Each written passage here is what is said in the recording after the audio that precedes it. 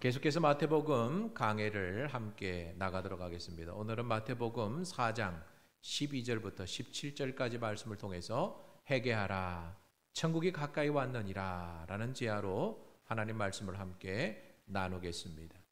오늘 우리가 읽은 본문 말씀을 보면 우리 예수님께서 이 요한이 잡히셨다을 아시고 공생의 사역을 본격적으로 시작하시는데 어디서 시작했느냐? 가장 소외받고 이 외진 이 갈릴리에서 하나님 나라의 복음을 전파하시는 것을 보게 되어집니다.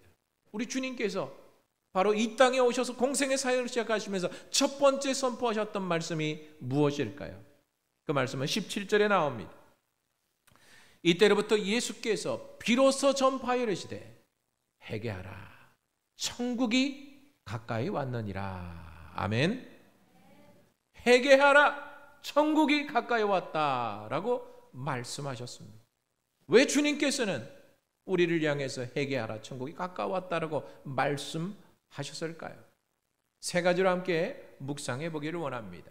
첫 번째로 주님께서 이 말씀을 하신 이유는 바로 회개해야만 하나님의 은혜를 받을 수 있기 때문입니다. 우리의 삶의 문제가 무엇입니까? 막혀 있는 것이죠. 아무리 노력하고 아무리 발부둥 쳐도 막혀 있을 때 모든 삶의 문제가 열려지지 않는 그러한 문제를 보게 되어집니다.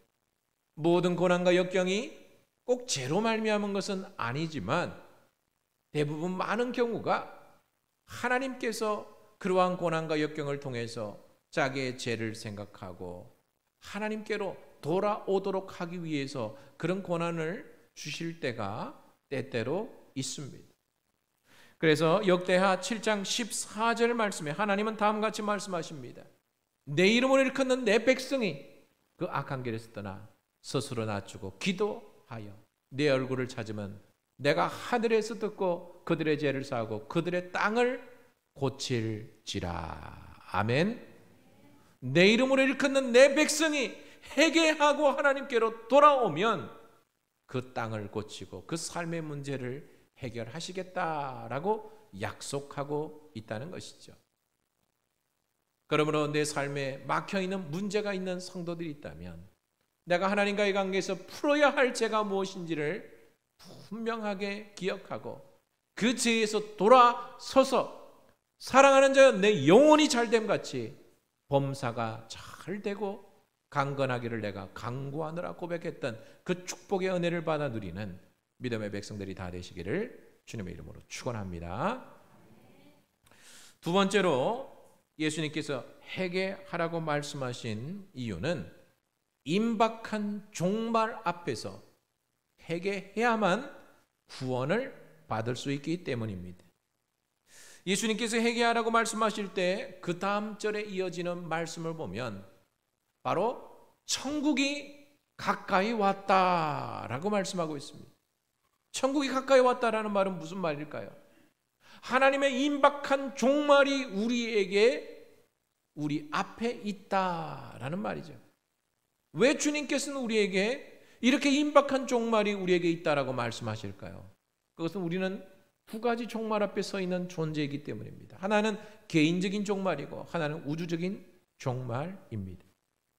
그러므로 이 땅에 우리가 살아갈 때에 우리는 임박한 종말 앞에 서 있다라는 사실을 분명하게 기억하고 하나님이 회개하라고 말씀하실 때 회개하고 돌아서서 구원과 영생의 축복을 소유함으로 주님이 언제 우리를 부르실지라도 주님 앞에 당당하게 설 수 있는 믿음의 백성들이 다 되시기를 주님의 이름으로 축원합니다.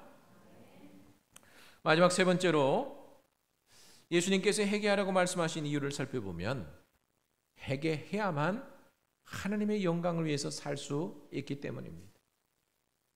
바로 우리가 회개하고 위로부터 주어지는 성령의 능력을 받게 될 때 하나님이 주신 사명과 소명이 무엇인지를 알고 그 사명과 소명을 따라 살아감으로 무엇인가 하나님 앞에 남길 것이 있는 인생이 되어야 한다는 것이죠. 바로 주님은 공생의 사역을 시작하시면서 바로 우리 인생을 향해서 회개하라 천국이 가까이 왔느니라라고 선포하셨습니다. 이 말씀의 의미를 마음속에 잘 새겨서 회개하고 하나님의 은혜를 받아 누리고 임박한 종말 앞에 회개하여 구원과 영생의 축복의 은혜를 받아 누리고 회개하고 하나님의 영광을 위하여 살아감으로 주님 앞에 무엇인가 남길 것이 있는 저와 여러분들이 다 되어지기를 주님의 이름으로 축원합니다. 기도하겠습니다.